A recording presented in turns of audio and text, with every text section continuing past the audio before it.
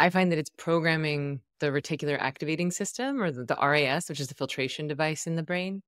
And so I like programming that in the morning. Like I don't want to leave my house without setting my compass of what would I love to have happen.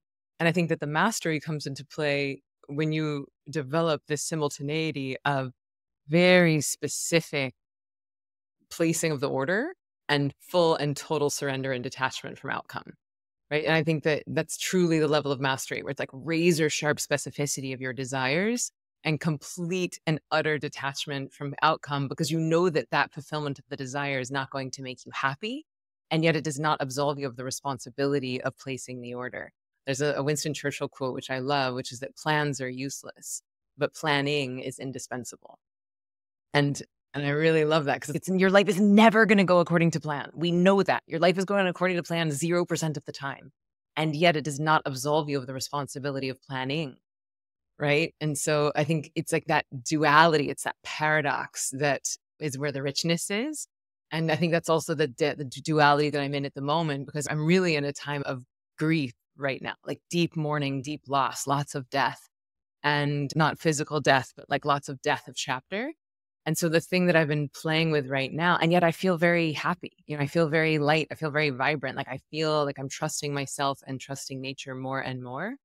And so the game and the dance that I'm in at the moment is how can I give myself permission to really feel my feelings, to not bypass, which is my former habit, but just like go in and cry and rage and be afraid and feel those feelings, but not allow them to be true and not allow the stories that my brain spins about those feelings to be true.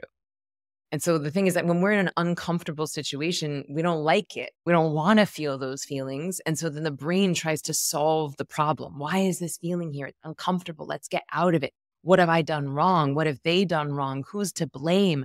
And so we start asking these really not helpful questions.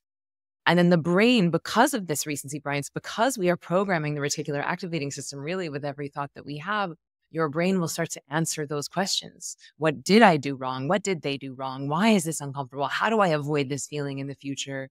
Versus just feeling it and then putting your attention back on that which you desire to create. And so that feels like the dance that I'm in at the moment. And it's, I feel really proud of myself for the simultaneity of doing both. Yeah.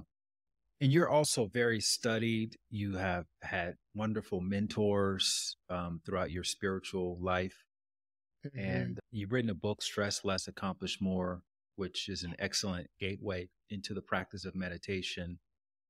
But what I would like to um, what I'm wondering about is obviously it's great. We're both big advocates for meditation, but in terms of of understanding these other practices, you know, the affirmations and the power of positive thinking, and is there a book that has had the biggest impact on you in that? Like, let's let's assume someone gets stressed less and they start meditating.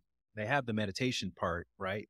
Mm-hmm. How do you correct the intellect around and to make sense of all this other stuff that's happening so that you can start to um, implement more of the yeah, it's, it, natural optimism that we want to all experience in the in the face of chaos. Yeah, so I would say it's for me it's not I guess in some degree it is optimism, but to me it's the manifesting practice for me as of late has been more about being brave enough to go in and feel the intensity and the darkness of what is. And then through that alchemical process, it makes space for me to even hear the desires and then to start to vibrate at the frequency of the desire. And for me personally, like I, will to give some thought to some books because I'm certain I'm sure that I read some back in the day. Like I started really studying manifesting probably like 20 ish years ago. But for me, I like to receive it orally. Like I like to just have like almost a constant feed of lectures or inspiration or people that I look up to kind of like saturating my cells all the time. And I'll share some of the things that are turning me on in that regard as well. Thank you so much for watching. Just FYI, we post a new video almost every day, so make sure you comment and subscribe below so you don't miss out on anything. And if you enjoyed this video, I think you're really gonna love this one as well. And if you ever want to see a playlist of all of my podcasts or all of the plot twists or any other category of videos, you can find links to those in the description below.